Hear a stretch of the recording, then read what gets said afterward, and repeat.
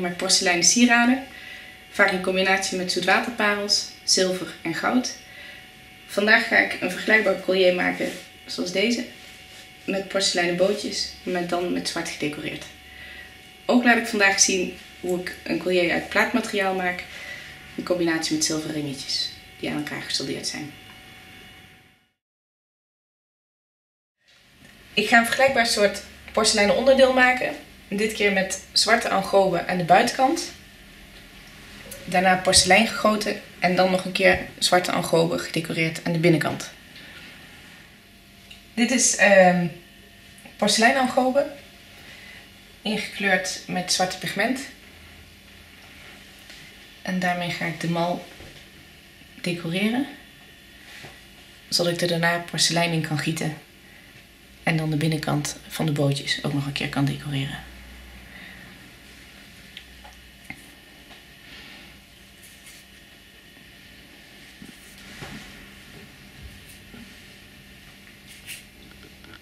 Dit is Limoges gietklei. Die heb ik zelf samengesteld. Gewoon droge gietklei, water eraan toegevoegd. En dan ga ik even voelen of alle stukjes in zitten. Voor zekerheid ga ik hem nog even zeven.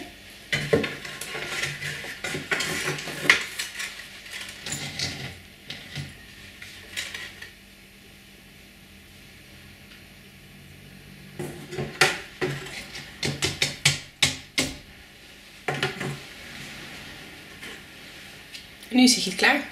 Dan ga ik het gezeefde porselein in de mal gieten.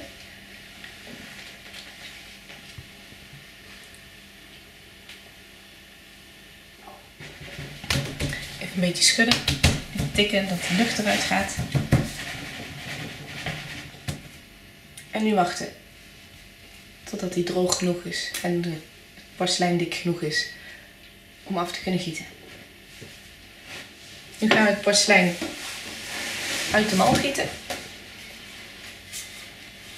Hij is dik genoeg. Dat zie je doordat er hier een indroogrand is. Als je dan het overige porselein een beetje wegveegt, dan blijft het gegoten porselein zitten.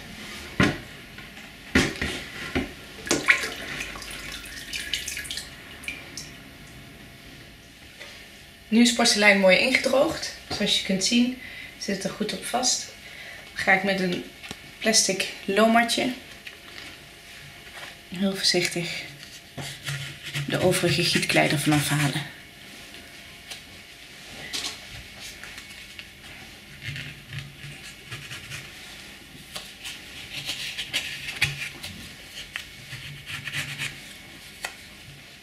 Nu ga ik de binnenkant decoreren met dezelfde zwarte porseleinen algoben. Dus ik de mal ook mee heb gedecoreerd. En dat doe ik op dezelfde manier. Gewoon vrij vlot. De bovenkant decoreer ik niet. De kopse kant, zoals je ziet. Die laat ik nog vrij omdat ik die later met afsponsen nog wat ronder wil maken. Deze heb ik al eerder klaargemaakt. Hiervan zijn de bootjes inmiddels leerhard. Dan gaan we eens kijken of we ze eruit kunnen krijgen. Vaak maak ik dan even mijn vinger nat. Zodat ze eraan blijven hangen. En heel voorzichtig pak ik ze dan eruit. Ik spons het porselein zodat het na het bakken niet vlijmscherp is. Daarbij hou ik het heel voorzichtig vast. Want het is nog steeds gewoon rauwe klei. Gaatjes boren. In de vormpjes. Ook hierbij let ik op dat ik niet te hard druk. En dat ze mooi tegenover elkaar zitten. Ik gebruik daarvoor een handboordje. Van 2 mm doorsnee. Nu ga ik ze glazuren met een transparant glazuurtje. Daarbij pak ik ze heel voorzichtig tussen mijn vingers en dompel ik net het randje erin.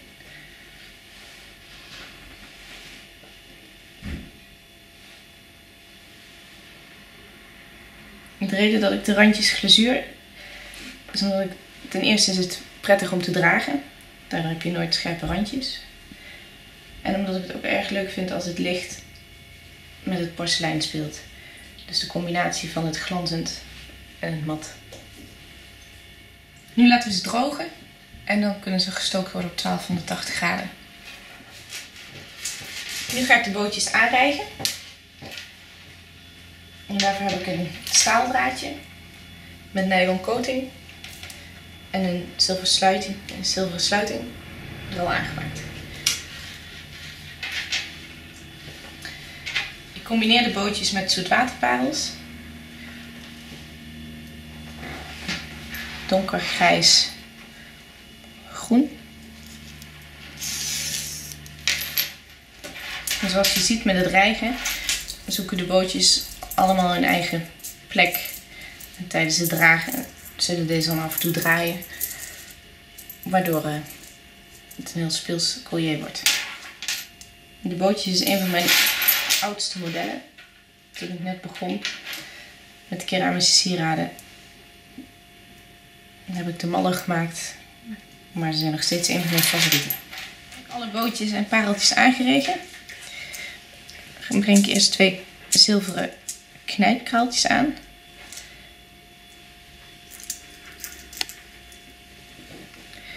Dan het zilveren ringetje.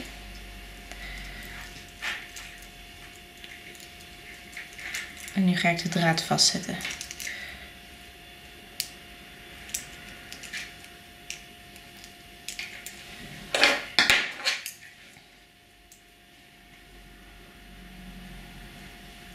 Nu knijp ik het kraaltje plat, waardoor dat de draad vastzit.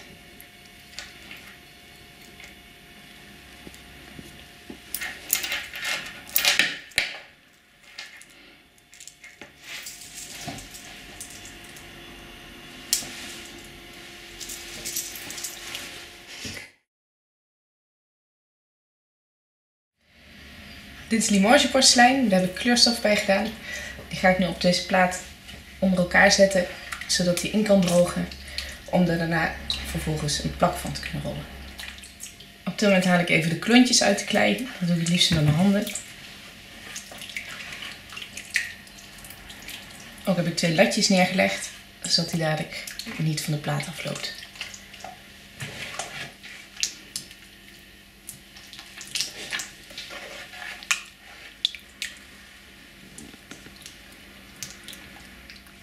Het Limoges porselein heb ik ingekleurd met een bodysteen.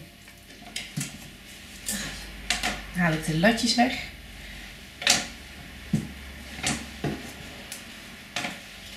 En ga ik het onder elkaar zetten.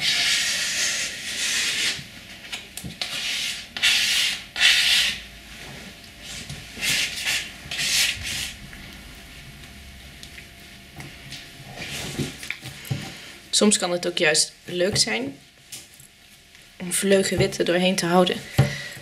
Maar in dit geval vind ik het wel mooi als het een egale massa is.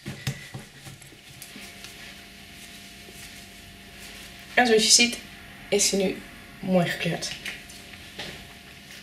Nu ga ik een mooie plaat rollen.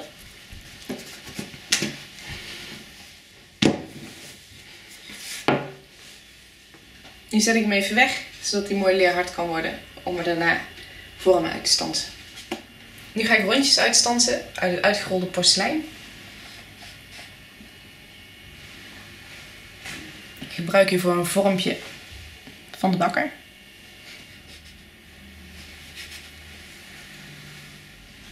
Nu haal ik heel voorzichtig het randje eraf. Het porselein, zoals je ziet, is het nog zachter dan leerhard, waardoor dat het vervormt. En dan kun je ze gewoon ophangen. Soms vervorm ik ze ook iets met de hand.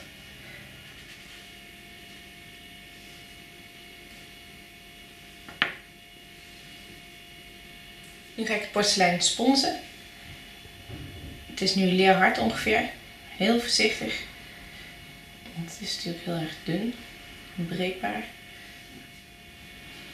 Ik doe eerst de buitenkant. Dan laat ik het heel even een opdrogen. Dan spons ik dadelijk de binnenkant. Dit zijn de gebakken onderdelen. Zoals je ziet, sommige wat groter, kleiner.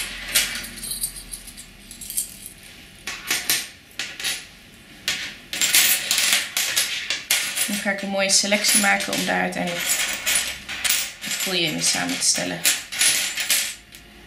Ik denk dat dit wel een mooi geheel is. Klaar om te gaan solderen. Ik ga nu de porseleinen schakels aan elkaar maken door middel van zilveren ringetjes. Die ik weer vast ga solderen met zilversoldeer.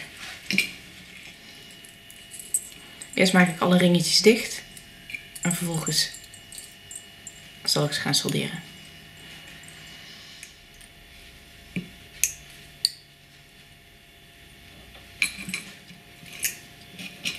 Nu heb ik alle oogjes dichtgebogen.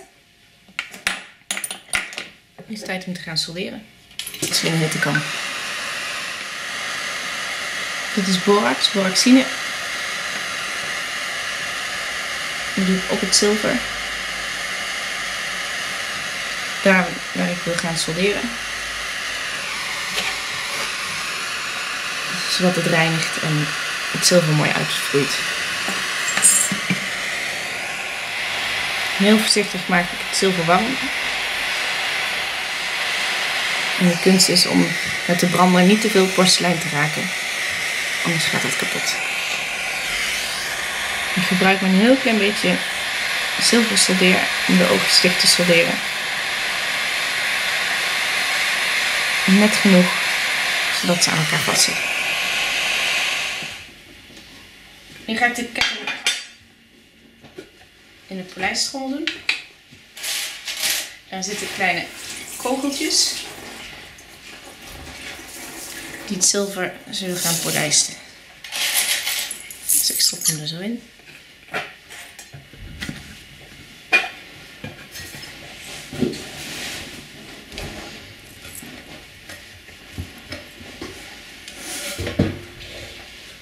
Daar gaat hij.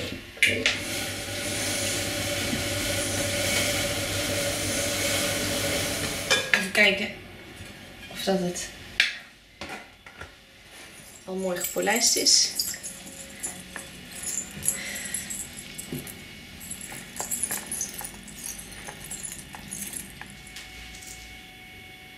Dit is het porseleinen collier wat ik gemaakt heb met de bootjes. Het Limoges porselein gegoten met zwarte angoben en de zoetwaterpareltjes. En dit is het tweede collier wat ik gemaakt heb. Twee kleuren porselein samengevoegd met zilveren oogjes die ik ook gesoldeerd heb. Daarnaast werken we ook met buis die ik maak met een extruder. In dit, in dit geval gecombineerd met glaspareltjes.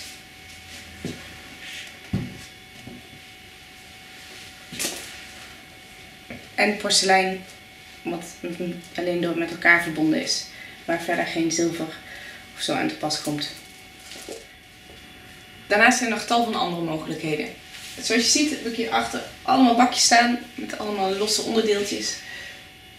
Waaruit ik nog een hoop mooie sieraden kan maken waar mensen hopelijk gelukkig mee zijn.